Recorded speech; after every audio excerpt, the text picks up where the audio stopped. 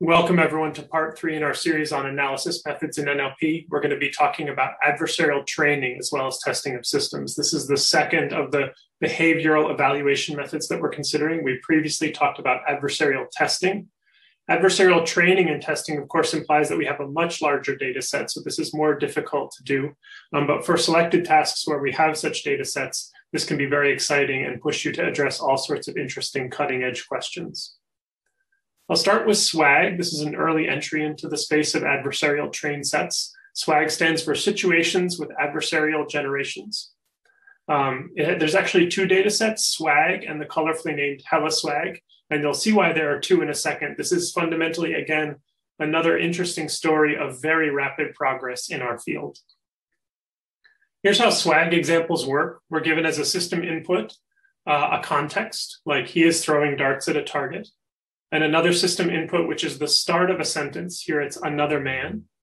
And the task of the system is to figure out what the continuation should be. So the actual continuation that we predict might be throws a dart at the target board. Uh, this is fundamentally a classification task. The system is given some distractors, like comes running in and shoots an arrow at a target, or is shown on the side of men, or throws darts at a disc. And the system is tasked with figuring out which of the options is the actual continuation for the sentence given the context. The data sources for this are ActivityNet and the large scale movie description challenge. I think the idea here is that we're going to key into all sorts of interesting notions of common sense reasoning. Now, here's where the adversarial part of this comes in. We're going to do adversarial filtering for SWAG. For each of the examples in our corpus, and there are over 100,000 examples in SWAG, we're going to be given the system input like the mixture creams the butter, sugar, and then we'll have a generator model. In the case of SWAG, this was an LSTM, produce some distractors for the target. So let's suppose that the actual target continuation is is added. We'd have a model produce is sweet and is in many foods. And then we have the filtering model. If it guesses correctly for is added, then we're going to drop out this entire example and we'll create some new distractors like is sprinkled on top or is in many foods. And in this case, if the model guesses incorrectly, like suppose it, it chooses B in this case, then we'll keep this example because relative to the current models for the the thing we're using to generate these distractors and the thing that we're used, using to filter, this is a challenging example. And the idea is that we can repeat this for a bunch of iterations, continually retraining the filtering model so that it gets better and better and therefore ending up with a data set that is really, really difficult in terms of the current models that we had available to us. Here's a picture of test accuracy. This is kind of interesting here. They actually did an ensemble of filtering models to try and to key into different notions that might be indicating which is the correct continuation.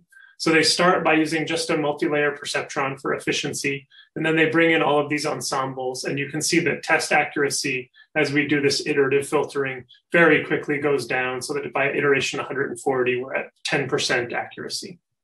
So that's the sense in which this is a very difficult data set because given the generator model and the filtering model that we have available to us, we have a data set that is very difficult in terms of a classification task. So that looks really exciting and challenging. And I think the authors expected this data set to last for a very long time. However, the BERT paper, the original BERT paper, did evaluations on SWAG and essentially solved the problems. BERT Large got 86.6 uh, and 86.3 on the Devin test sets for SWAG, respectively. A very unexpected result, given that I just showed you that the SWAG authors got about 10% with their current models. And even closely related models to BERT, like this ESIM model here, were really pretty low in their performance. So BERT looked like a real breakthrough, and you can see that it's in some sense kind of superhuman relative to the SWAG estimates. So wow. So of course, we know what the response should be given that we're talking essentially about model in the loop adversarial dataset creation. That leads us to HellaSWAG. They made some changes to the data sets that they used for HellaSWAG, but I would say the fundamental thing is that we do the same kind of adversarial filtering with a generator, except now we have much more powerful filtering and generator models thanks to developments related to transformers. So for HellaSWAG, we again have human performance that's really good. This is very reassuring because we are using much more powerful models at step four. As you can expect, BERT is no longer easily able to solve this problem Here's a further summary of the results with BERT large before. Remember that had essentially solved SWAG. Now it's down around 50%, which um, shows that it still gets traction, but is nothing like the human perform superhuman performance that we saw for SWAG. Okay, now let's move into a slightly different mode, and this is going to be a kind of human in the loop adversarial dataset creation method. The first entry in this space was the adversarial NLI dataset. I think this is a really visionary and exciting paper. Um, adversarial NLI is a direct response to the previous things that we've seen with the SNLI and multi-NLI data sets where models seem to do well on those benchmarks, but are easily susceptible to simple adversaries. With adversarial NLI, we're going to hopefully push systems to be much more robust to those adversaries and explore a much wider range of the space of things you might see under the heading of natural language inference. So here's how it worked. There's a human in the loop, an annotator, and the annotator is presented with a premise sentence and a condition that they need to be in, which is just an NLI label, entailment, contradiction, or neutral. The annotator writes a hypothesis to go along with the premise and the condition, and then a state of the art model comes in and makes a prediction about the premise hypothesis pair. If the model's prediction matches the condition, that is, if the model was correct, then the annotator needs to return to step two and try again with a new hypothesis and we could continue in that loop. If the model was fooled, the premise hypothesis pair is independently validated by other annotators, of course. So what we get out of this is, we hope, a data set that is intuitive for humans because of the check at step five. But assuming we continue to loop around through two, three, and four, an example that is really difficult for whatever model is in the loop. And the expectation is that as we put better and better models in the loop here, we're going to get even more challenging data sets as an outcome. NLI examples tend to be impressively complex. You can see that this example has a very long premise. The hypothesis was relatively shorter. And an intriguing aspect of adversarial NLI is that annotators also constructed a reason or a rationale for their label holding between the premise hypothesis pair. To date, as far as I know, relatively little use has been made of these texts, but I think they could bring in other aspects of natural language inference reasoning, and that could be an exciting new direction. Adversarial NLI is a difficult data set indeed. We have a similar sort of leaderboard that we've seen throughout this adversarial regime where uh, across different rounds of ANLI, there are three, or cumulatively for the data set, even really excellent models that do really well on SNLI and multi-NLI are posting really low numbers for all of these variants of the data set. And that shows you that this is truly a difficult problem. And as far as I know, not much progress has been made uh, since this data set was released on boosting these numbers. So it stands as an interesting challenge. Stepping back here, I'd just like to say that I think we find in this paper a real vision for future development, and that you see this also in the SWAG and HellaSWAG papers, as they, those authors say, this adversarial dataset creation is a path for NLP progress going forward toward benchmarks that adversarially co-evolve with evolving state of the art models, right? With SWAG and HellaSWAG, we saw this. SWAG got solved, but the response was clear bring the best model in and use it to create the successor data set that stands as a real challenge. We have a similar picture from the adversarial NLI paper.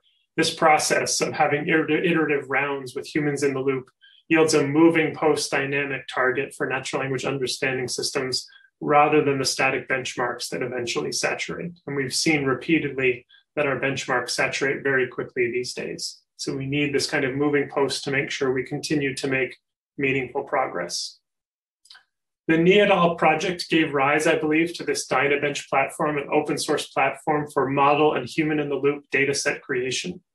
There, as, as of this writing, there are four data sets available that have been created on Dynabench. An NLI data set, which is a kind of successor to ANLI, a question answering data set, a sentiment data set, data set and a hate speech data set.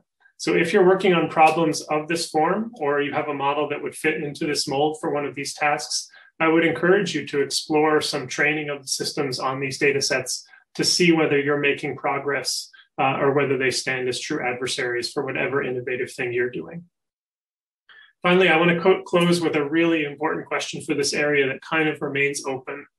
Can adversarial training improve systems? There is a course of concern that as we construct ever harder data sets, we're pushing systems into stranger parts of the linguistic and conceptual space which could actually degrade their real world performance. We have to keep an eye on that.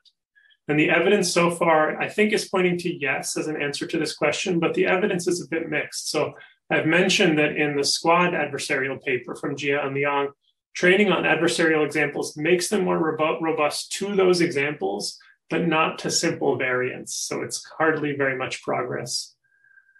In this paper, they found that adversarial training provided no additional robustness benefit in, our, in the experiments using the test set, despite the fact that the model achieved near 100% accuracy classifying adversarial examples included in the train set. So that's a more worrisome picture. Um, but this is more hopeful. Fine tuning with a few adversarial examples improves systems in some cases, especially where, where you bring in inoculation. And this is hopeful yet again. Adversarially generated paraphrases improve model robustness to syntactic variation. That's really the dream there that as a result of doing this new kind of training, we get systems that are truly more robust. But I think we need more evidence on this picture, which means more data sets of this form and more an interesting use of the available resources. Uh, and I would just love to see what the emerging picture is over the next year or two.